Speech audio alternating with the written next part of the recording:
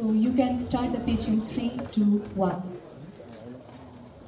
When we went to Nagarkot back in 2021, we found uh, that Shreyas Karki, a local tourist guide, was struggling to make his living as over 50% of his uh, earnings were taken by the tour agencies.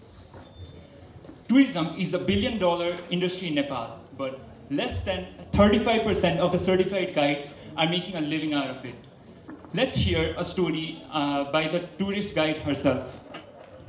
पहिला चाहिँ हामी आफैले टुरिस्टहरूलाई घुमाउँथ्यो केही यहीँको लोकलहरूले अहिले चाहिँ अब बाहिरको मान्छेहरूले गर्दाखेरि अलिकति घटेको छ भनौँ न बाहिरको मान्छेले भन्दा हामी आफैले सम्पर्क गर्ने माध्यम थाहा भएको भए सजिलो हुन्थ्यो भन्ने जस्तो लाग्छ कि हामीलाई Introducing you all to our solution. Yatra Mitra.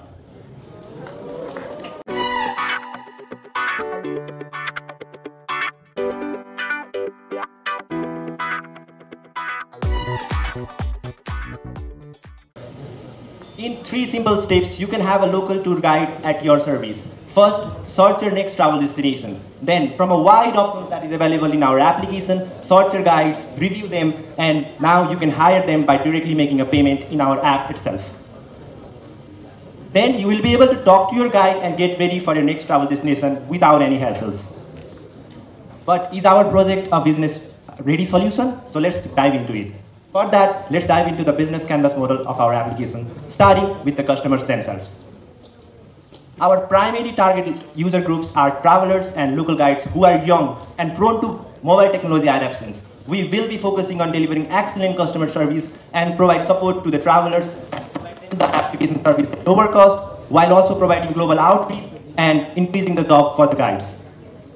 With the rise in number of mobile subscriptions increasing every year and almost exponentially, and the network coverage of 3G and 4G services reaching to more than 75% of the most traveled tourist destination in Nepal, our application is ready to go. So there's a market need and Yatra Mitra is here to fill that gap. The main source of our revenue, the main source of our revenue comes directly from the commission we get made from each deal by our customers. And in addition, we'll also have in-app ads to add to our revenue source.